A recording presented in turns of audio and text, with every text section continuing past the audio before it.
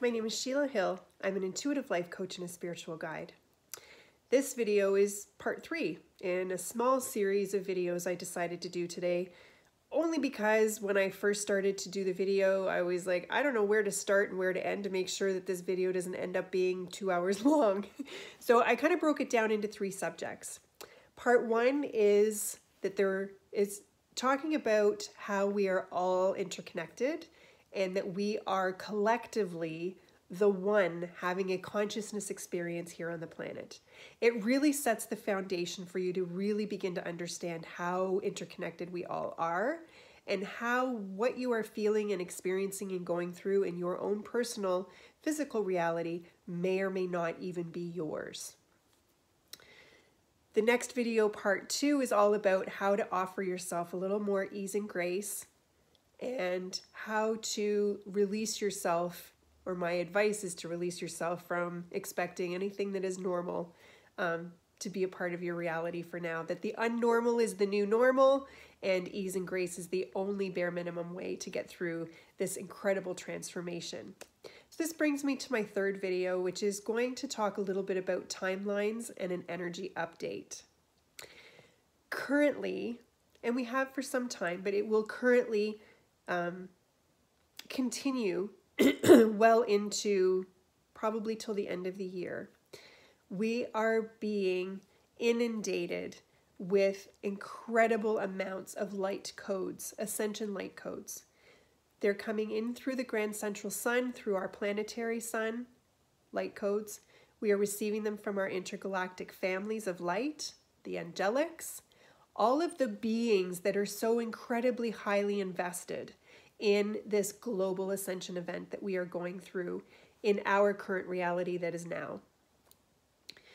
These light codes are an accumulation, and as they accumulate, will be what is considered that many people in spiritual communities have talked about the grand social, social solar flash event. So there may or may not be a solar flash event that is transformational on or around December 21st. Depending on where you are in your own personal ascension timeline, as far as how much light you are currently holding, you may or may not even feel this. It is being dispersed and dripped for humanity on sort of a slower pace rollout um, as a, a, flash event that is sort of taken and extrapolated out into a third dimensional timeline so that we have time to integrate the light, transmute our own density at a cellular DNA level, and transmute the light the density into light that is happening on the collective plane as well. So we are currently in the solar flash event. That's what's happening every minute, every now of every now from now until at least the end of the year, probably going into the first quarter of 2021. What does that mean? well, it means that the energies are moving very, very, very quickly, which I understand from a third dimensional point of view that a day only still has 24 hours and a week still only has seven days. I get that. I get that our reality from a third dimensional perspective has really not changed. But the energetics that drive our reality behind that lens are moving very, very quickly. So we are jumping timelines constantly, individually, constantly, and as a collective as well. So our individual timelines all plug into a hive mind that becomes the manifester of a collective reality. Not going to get too much into that today, just a brief understanding that that's how it works. So our timelines are shifting, which is making holding on to normal who you were five minutes ago, what was normal to that version of you, um, is no longer relevant in this new timeline you find yourself in five minutes later. Now, I'm being silly, maybe, when I say five minutes. Could be five hours, could be from day to day, that every day you find yourself a little discombobulated a little ungrounded, a little uncertain, um, lacking clarity, grounding, certainty, understanding, anchoring. Um, everything kind of feels a little bit off, and it feels off all the time. And that's because we're shifting timelines so quickly and that the energies are moving so quickly. So, to make any kind of plans or long term decisions about where you're going to live, what job you're going to do, where you might be vacationing, any sort of planning that you're trying to do is going to be very difficult during this period of time because the version of you that was supposed to do that thing may only exist for 24 hours. And then a new version of you is being rebirthed into the new energies as the timeline shifts in your reality, which may also be a collective timeline shift. That means that that version of you, the new version of you, is meant to do something entirely different. Work in a different place, live in a different place, do a different thing, show up in the world in a different way. So everything is really, really fluid and really fast right now.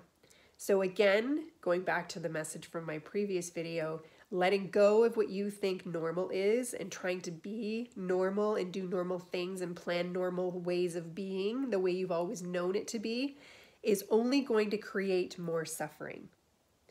When you can go into as many now moments as possible with an open heart eyes open wide, and a childlike wonder of, oh, who am I am? Who am I today?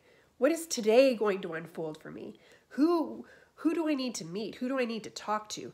How do I fulfill this reality that I find myself in in this now moment? Because I know that it's fleeting and that this timeline by tomorrow or a week from now is going to be gone, and a new version of me will be rebirthed from an energetic place with a whole new potential of other things.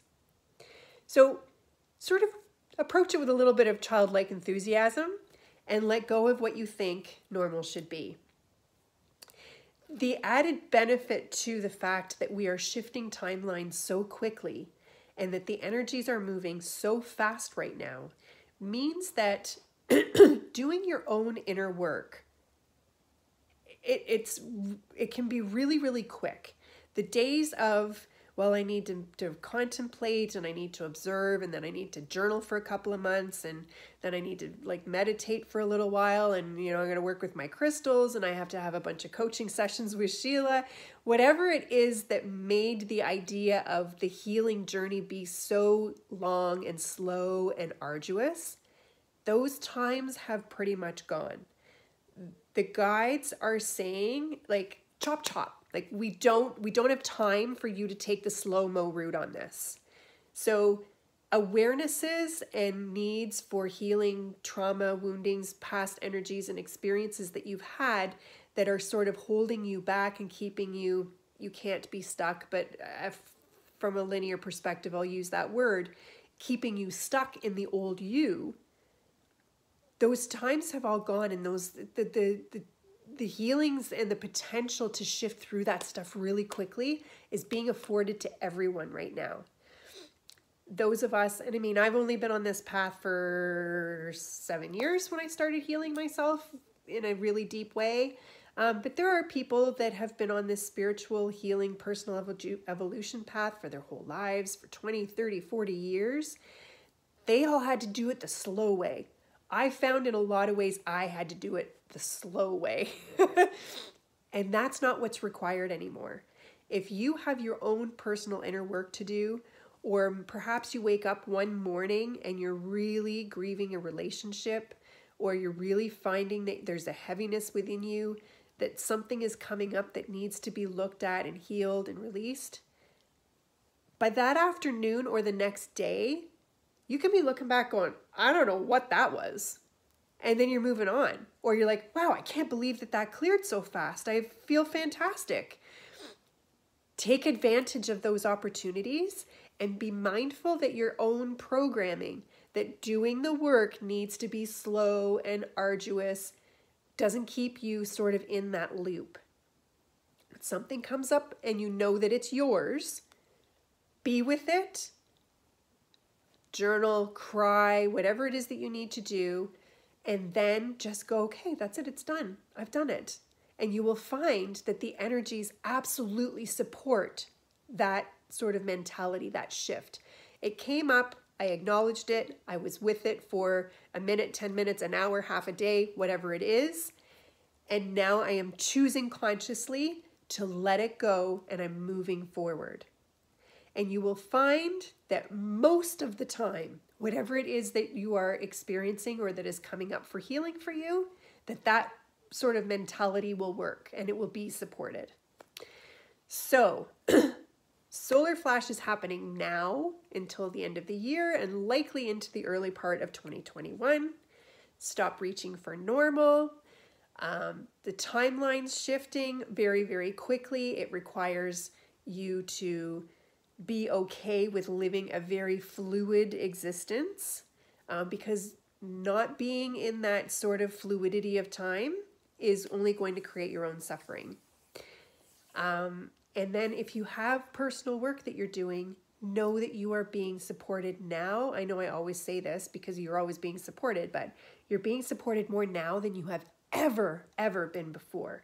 And it can be fast. So be mindful of what programs you are running um, and belief systems that you hold around healing taking a long time, because that is not the case.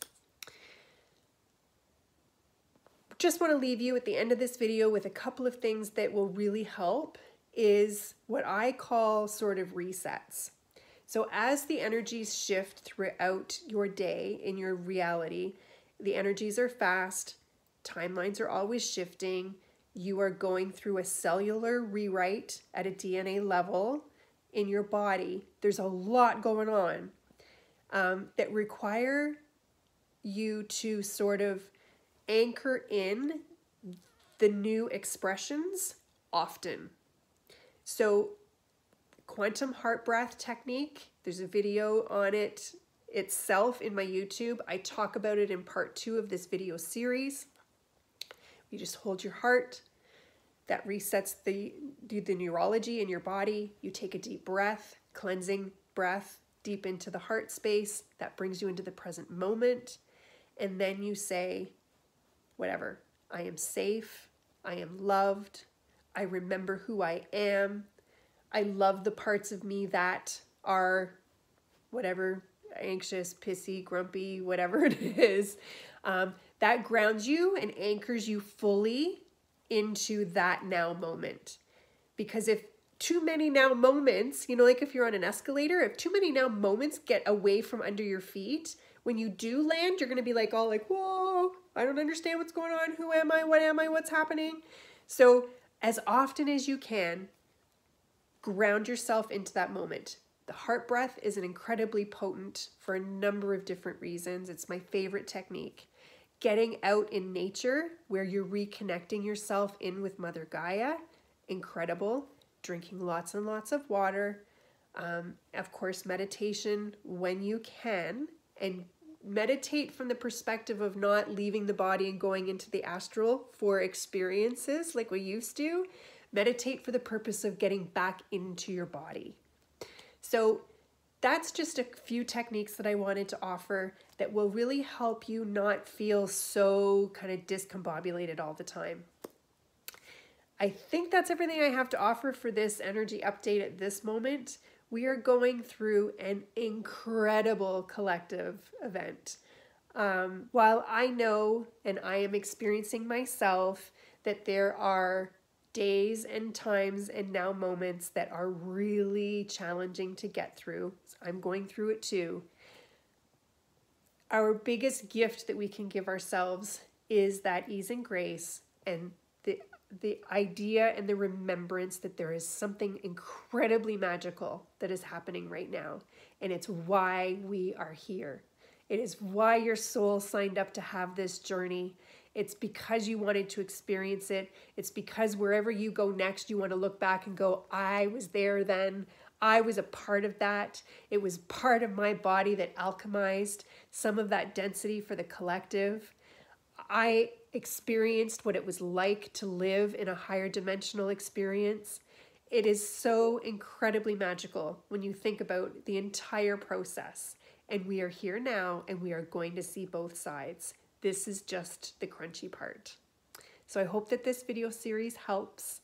Um, if there's anything else you would like to know, ask your questions in the comments. I'm happy to do more videos. I'm happy to show up more often if there's an interest.